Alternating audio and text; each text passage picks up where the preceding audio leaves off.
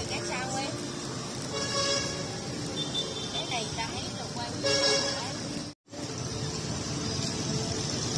lắp nhà nha nha ăn cái bí. Phải vừa ăn thì thôi mà thích chấm thì cái chấm.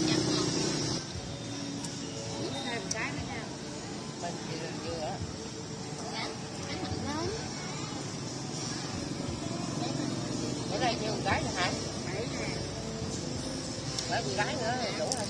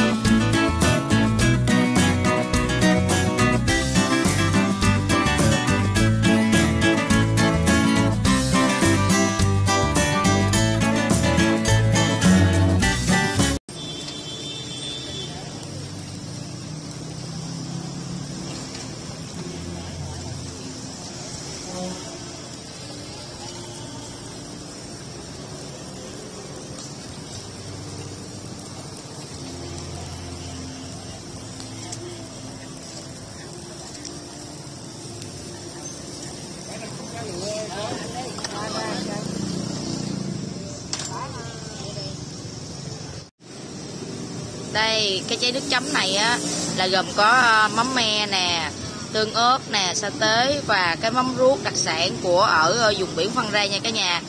Ăn ờ, cái nước chấm này rất là ngon. Đây, và cái bánh tráng. Hai cái loại này kết hợp nhau là rất là hấp dẫn luôn. Đây cả nhà, cái bánh tráng mắm ruốc này bây giờ là mình sẽ chấm với cái nước chấm này nha. Đây, quậy nó lên.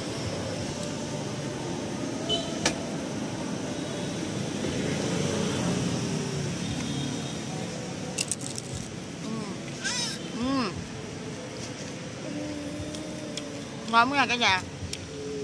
Nó vừa chua chua ngọt ngọt mặn mặn cay cay. Ngon.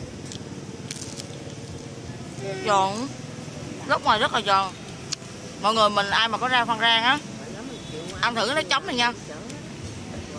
Ừ à, nhà hấp dẫn không ngon hơn bánh tráng um, trên Đà Lạt này không có thích gì hết ngon cái nhà Ở Đà Lạt là mặn. Đà Lạt là bánh tráng Phan Rang rồi bánh tráng Đà Lạt là người ở dưới đây lên. Chế biến thêm. Đúng của người ta là gì thôi. đây hấp dẫn Ừ. ngon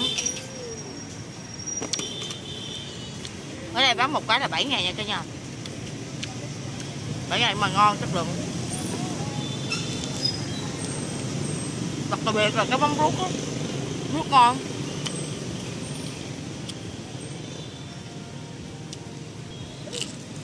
Ừ, ăn giòn khấu luôn cả nhà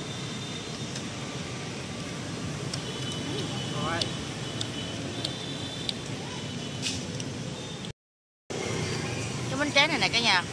Tại vì à, cái lúc mà nướng á là cô có để là hành lá nè. Rồi thêm cái là bắp cải á, có cải vào mình ăn rồi trứng nữa. Hòa quyện với nhau rất ngon. Đúng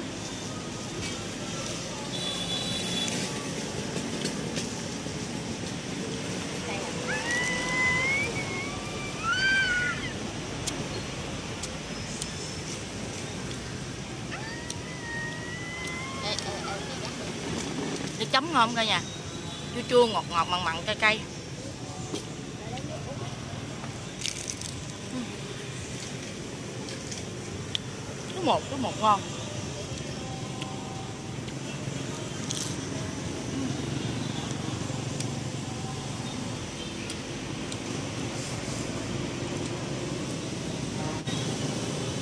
Em review cho mọi người một à, đoạn ngắn như vậy thôi nha bây giờ em xin kết thúc clip tại đây nha. Hẹn mọi người vào những clip sau nha.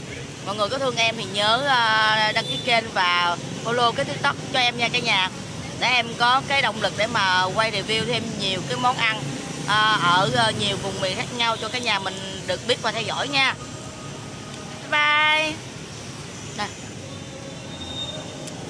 nước chấm mắm me mắm ruốc. Hành lá hành phi gì tùm lum chân không? À, cả nhà nhìn hấp dẫn cái miếng à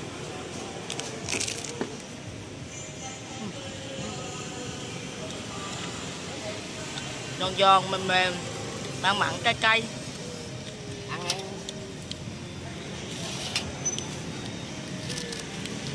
Ngon. Mọi người nếu mà à, muốn em review thêm cái món nào á thì mọi người cứ comment ở dưới nha.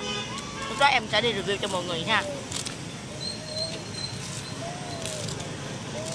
bye bye